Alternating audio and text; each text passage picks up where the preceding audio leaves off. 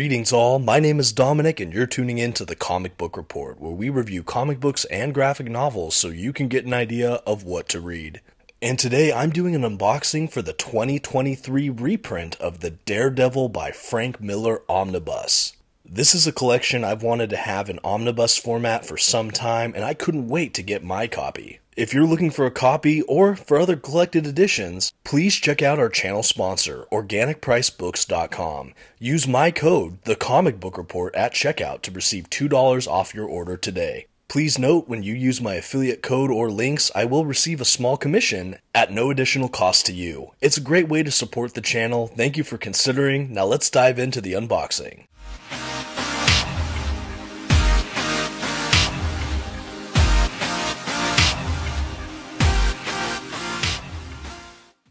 Okay, and here's the box I received from Organic Priced Books. As always, timely shipping and impeccable packaging, no complaints whatsoever. I'll go ahead and get this bad boy open for you. But as I do, right at the front, I want to say that I actually ordered the direct market cover for this omnibus. There is also a standard edition cover. I'll go ahead and throw up an image of what the standard edition cover is for this 2023 reprint. I preferred the direct market cover, just seeing the homage to that classic cover. I just thought it was more striking, but certainly the standard edition looks really good as well.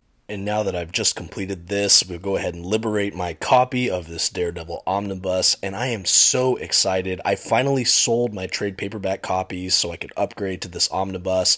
Very happy with this pre order. So there it is again, the direct market cover for the Daredevil by Frank Miller 2023 Omnibus, obviously reproducing the cover to Daredevil issue 181. Just a classic issue, faithfully reproduced for this cover. I love it. Moving forward to the spines, however, this is certainly going to be a divisive topic. As you can see, the Marvel Omnibus logo is black and on the bottom of the collection, not red at the top, which is uniform for all of the other Marvel Omnibuses, just about. Uh, so this spine looks really out of place on the bookcase overall. This is retaining the look of the classic Daredevil by Frank Miller and Klaus Janson Omnibus spines. I will say the direct market here does have that silhouette of Elektra. I believe the standard edition has a silhouette of Daredevil. So that is just something to know for you collectors out there.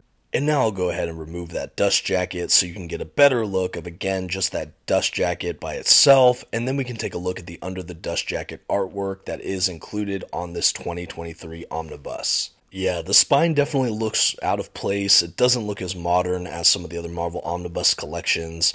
Uh, so that is a bit of a bummer, but I, I still love the direct market cover. For those that liked the classic Frank Miller Omnibus spine, this is going to be a treat for them, but I know a lot were hoping for the more modernized look of the spine. The under the dust jacket as well is a nice red and black sort of daredevil art. I really like it, really crisp, really detailed. I'll give you one final look at the Under the Dust Jacket hardcover itself. I'll fan it out so you can see all the art there. Apologize for the contrast with the red, sometimes a little hard with the glare, but a really beautiful book. Overall, I have really no complaints. The spine would have been better for me the other way, but I'm still just so excited to have this in the collection. Now I want to give you a quick look at the binding. It is sewn binding. We got a little bit of an eye on this collection.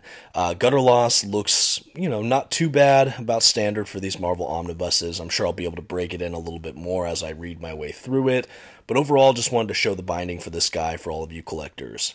And with all that out of the way, I'll go ahead and flip through the collection a bit, uh, do this quick overview unboxing. I'll try to go a bit light on spoilers where I can. This is not a full review, this is just more of an unboxing and a quick look and overview of this book. So, like I said, I did have trade paperback collections collecting all of the Frank Miller run. I loved them, I read through them once or twice. It was definitely one of my favorite runs for one of my favorite characters. And for a long time, I was hoping, hoping, hoping to upgrade to this this oversized omnibus format. So when I heard they were doing a reprint, I was over the moon, and it was an almost immediate pre order from me. So, what this omnibus does include, this collects Daredevil issues 158 through 161, as well as 163 through 191, and What If issue 28. So, what this does not include, I know it doesn't include Frank Miller's Daredevil, The Man Without Fear, doesn't include Daredevil Born Again, and a couple other Frank Miller Daredevil era stuff. This is more of just Frank Miller's run on the Daredevil comic title. Um, again, outside of Born Again and some of that other other later work. Some of the other Frank Miller work that I mentioned under Daredevil is collected in the Daredevil Frank Miller Companion Omnibus. I haven't heard word yet on if that's getting a reprint anytime soon. I'm really hoping that if this sells well enough that we'll see a reprint of that collection as well, as I would love to upgrade that half of Frank Miller's Daredevil into that omnibus format, as I missed my chance the first printings. As to what you can expect from Frank Miller's Daredevil, Frank Miller is really instrumental in just completely modernizing, rejuvenating the character of Daredevil.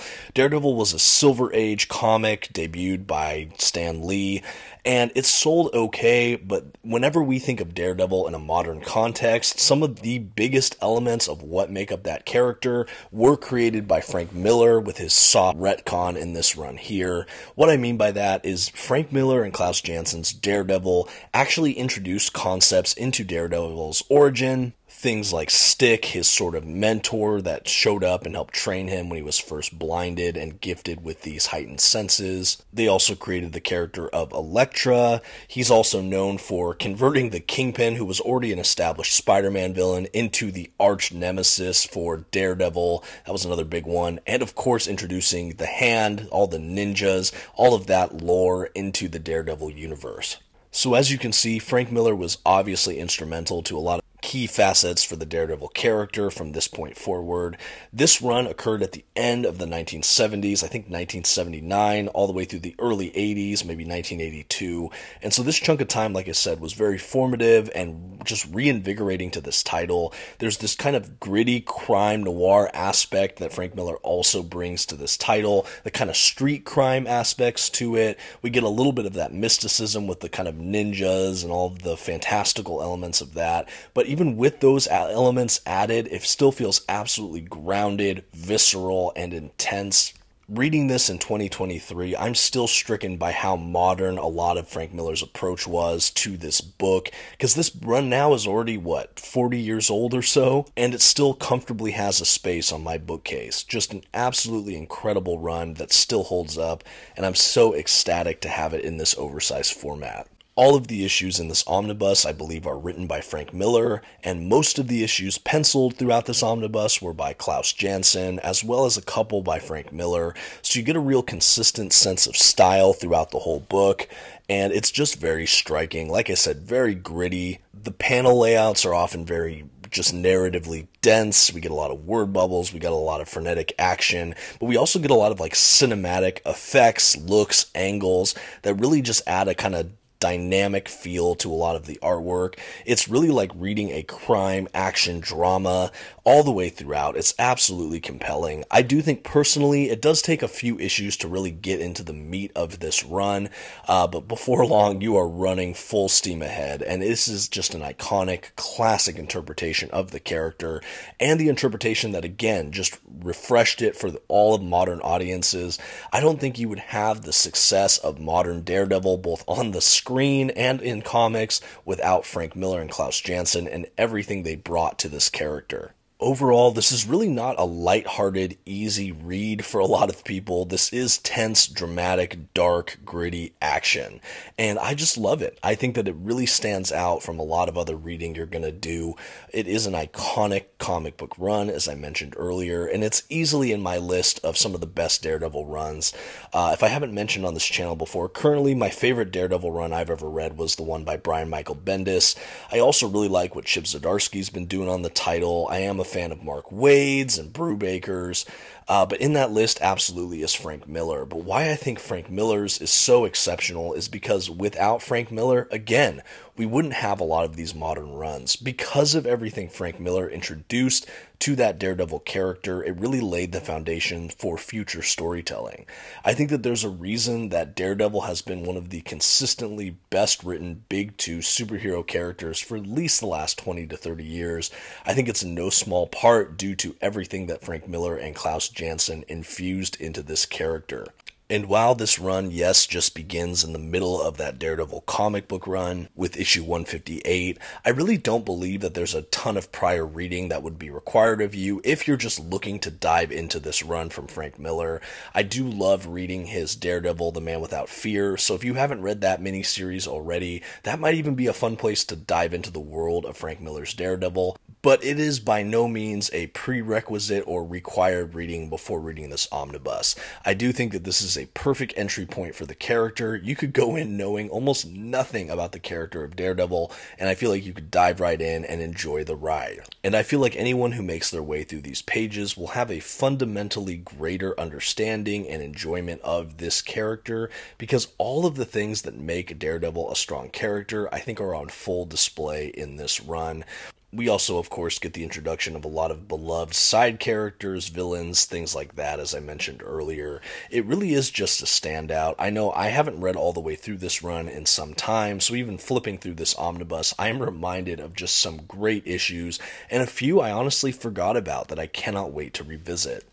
And while earlier I did say this feels surprisingly modern for an over 40 year old book, but I will say if you only read exclusively modern comics that maybe came out in the last 10 to 20 years, it will probably feel a little dated by those standards. But I think for someone that reads comics more holistically across the entire ages of comic book history, this definitely leans on the modern side for me. I think that he really just revamped this character in a way that is still completely palatable and digestible for modern modern audiences.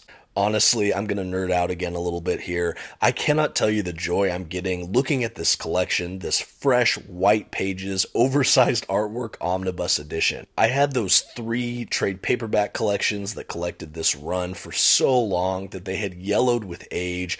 I bought them in good condition, but they were already used when I got them, and I probably had them for over a decade. Just sold them off knowing that this was coming in the mail. So seeing these issues bright, vibrant, colored perfectly, and just just crisp, it just feels new. And to have it in this hardcover format, a more prestige format, I am over the moon. I feel like this is one of the most iconic runs that I personally love being a gigantic Daredevil fan, and to see it in this presentation, wow, I'm so happy I was was able to snag this reprint. And while I know this character and this artist might not be for everyone, this is one I would recommend to many people for those interested in diving into Daredevil, for those interested in reading just iconic character runs from the big two, Marvel and DC. Frank Miller's Daredevil is surely in that short list, and this is just a comic run that I feel like comic book fans all ought to read. As you can see, as we've made our way through and cherry picked through this omnibus, there's also a ton of extras at the back, some great cover art, sketches, different miscellany. As a comic book fan and a fan of this run, I love seeing all of this pad out the end of the collection. What a thoroughly incredible omnibus. I really hope we see a reprint of the companion omnibus. But let me know what you think. Let me know if you have older versions of this omnibus or if you've read Frank Miller's Daredevil. I'd love to hear all about it in the comments below. As always, thank you so much for joining me on this unboxing. Again, check out our channel sponsor, Organic Priced Books, if you're looking to pick up your copy. And until next time, this has been the Comic Book Report. Don't forget to leave that like, consider subscribing to the channel, and have a good one.